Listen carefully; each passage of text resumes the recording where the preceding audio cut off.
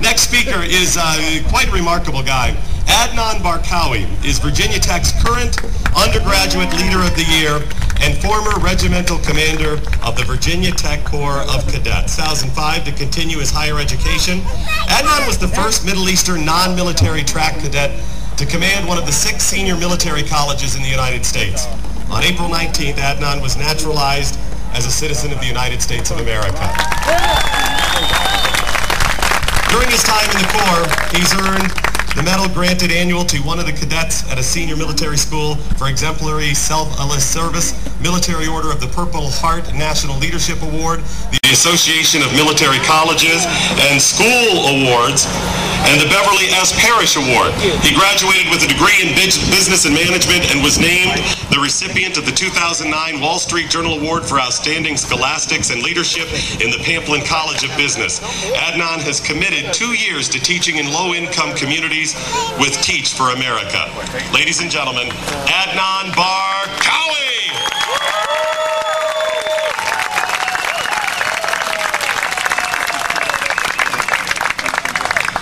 Good afternoon, fellow Americans. It is an absolute honor and pleasure to be here today. Mr. Jim Smyers, thank you for flying me in all the way from Marianna, Arkansas, where I'm a fifth grade science teacher. I would also like to thank uh, Mickey White for all she has done to put this together. And I'd also like to recognize my wonderful mentor, advisor, and chief of staff, Dr. Judy Lynch, for all you do.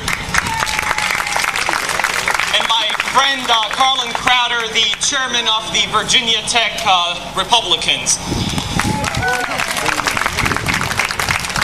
You know, I, I, I really believe that true speeches don't come from teleprompters or paper, but from the heart. And some 233 years ago, our founding fathers signed the declaration that allows us to stand here today. They signed the Declaration of Independence knowing full well that at the heart of their decision is torture if they were captured. We stand here to, today to realize their dream.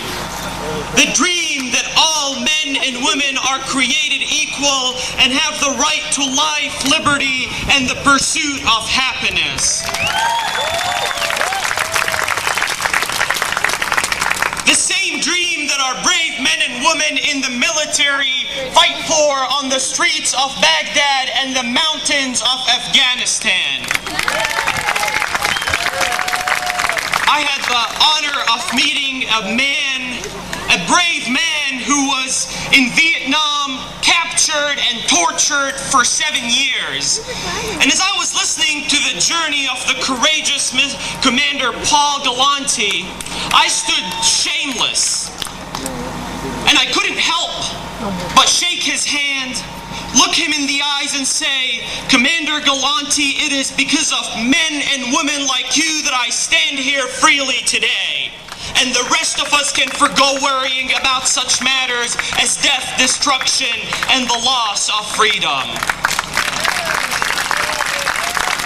You know, we have enjoyed freedom for so long that we are perhaps in danger of forgetting how much blood it cost to establish the Bill of Rights.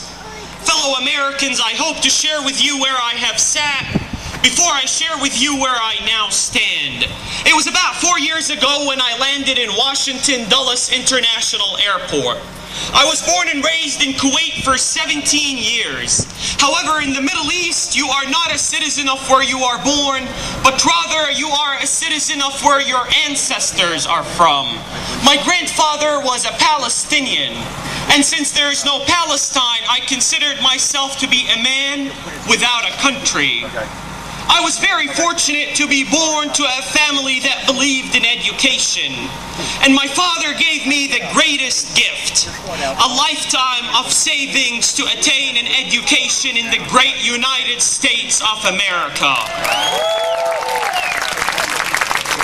you know, as I was looking down through a list of states that I could potentially come to, I chose Virginia because it said Virginia is for lovers. And that hasn't happened quite yet, but I'm sure working on it.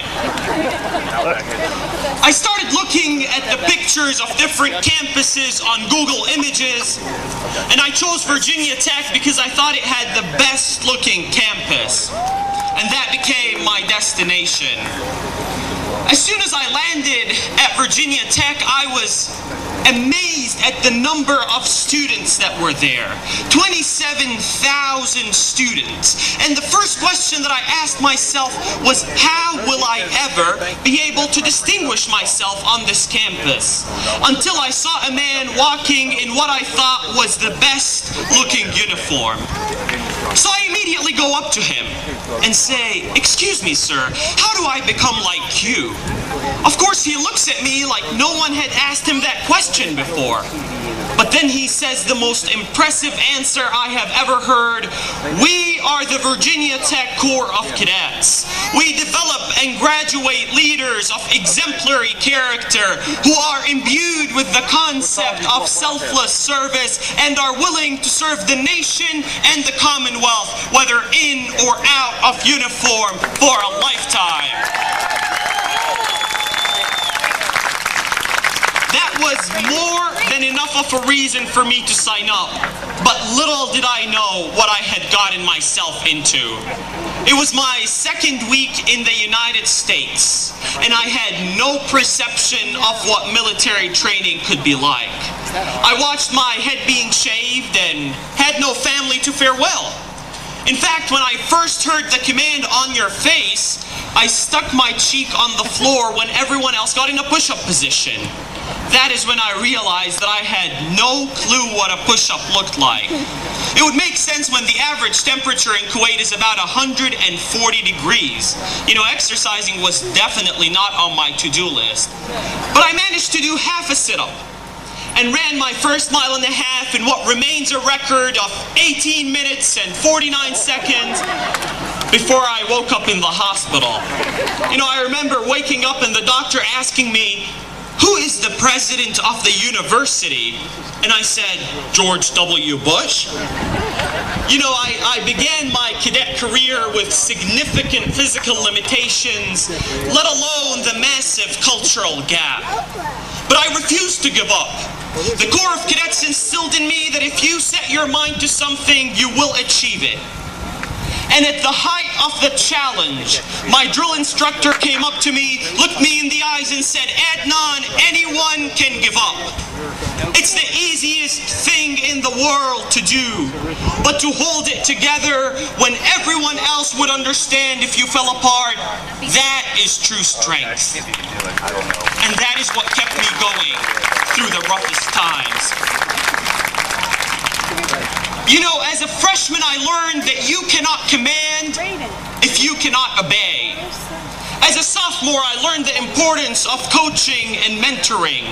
As a junior, I had the opportunity to train incoming freshmen, focusing on the principles of dignity and respect. And the greatest honor was when I was named the highest ranking senior in the Corps of Cadets. I never Graduating into the civilian world would have the opportunity to command one of America's senior military institutions. But that that reassured me that our backgrounds and circumstances may have influenced who we are, but on the soils of this great land, we are ultimately responsible for who we become.